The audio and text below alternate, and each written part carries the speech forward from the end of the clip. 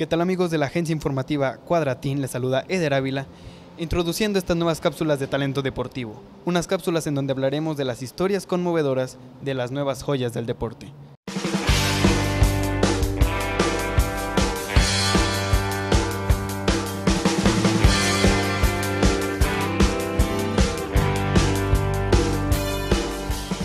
¿Qué tal amigos de la agencia informativa Cuadratín? Les saluda Eder Ávila y estamos con el entrenador Sergio Ramírez Gutiérrez, que nos hablará un poco acerca de los karatecas que representarán al estado michoacano en la próxima cita nacional que se llevará a cabo en el estado Baja California. Entonces, ¿nos podría comentar, por favor, por cuántos karatecas está conformado este talentoso grupo que representará al estado de Michoacán? Sí, ¿qué tal? Buenas tardes. Eh, este contingente va a estar representado por cinco karatedocas michoacanos eh, los cuales ya hemos estado concentrando.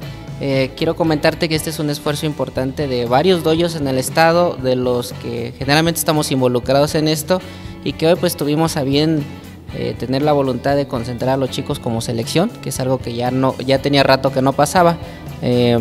y son cinco los chicos que nos representarán. Bueno, a partir de la división que hubo de categorías dentro de lo que fue la Olimpiada Nacional, Ahora hay un partiaguas y se diferencia en dos, campeonatos, el Campeonato Nacional Juvenil, que es a donde vamos a asistir a Ensenada, y solamente es la categoría 18-20 años eh, denominada Elite. Eh, es modalidad de kata y de combate. Mira, eh, nos, va a acompañar la competidora Lizeth Ruiz, que es una de las más representativas del estado, ha sido ya medallista a nivel internacional y ella va en categoría menos de 55 kilos en kumite ah, y con altas posibilidades de, alcanzar el podio. Eh, nos, también irá con nosotros Daniel Martínez, que también es el año pasado y este año se ha mantenido en podium en los eventos clasificatorios y también tiene posibilidades este, importantes de, poderse colgar una medalla. Eh, los, demás este, que integran el contingente es Viridiana Santillán, que también fue bronce en el nacional y con ello logró su clasificación.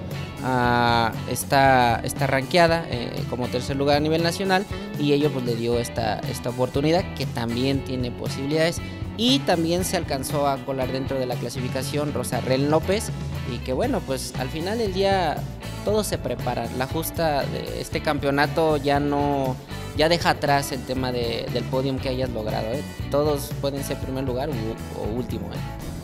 Mi nombre es Viridiana Santillán Herrera.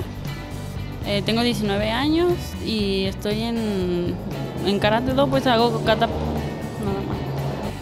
Este, pues la verdad me he preparado creo que muy duro, la verdad los entrenamientos han estado un poco fuertes y hasta doble sesión tengo a veces para poder dar buenos resultados y Pues la verdad espero que voy con todo, no sé, mi expectativa mínimo es mantenerme en el lugar que tuve en el nacional, traje tercer lugar, entonces mínimo mantenerme y si no, llegar hasta primer lugar. Mi nombre es Daniel Adrián Martínez Ayala, eh, soy originario de Cabo San Lucas, Baja California Sur, pero desde hace cuatro años estoy radicando aquí en Michoacán.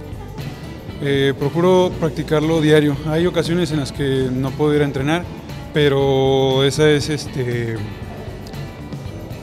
Em, son cosas que a veces pasan. Yo procuro estar este, diario para, para poder lograr buenos resultados.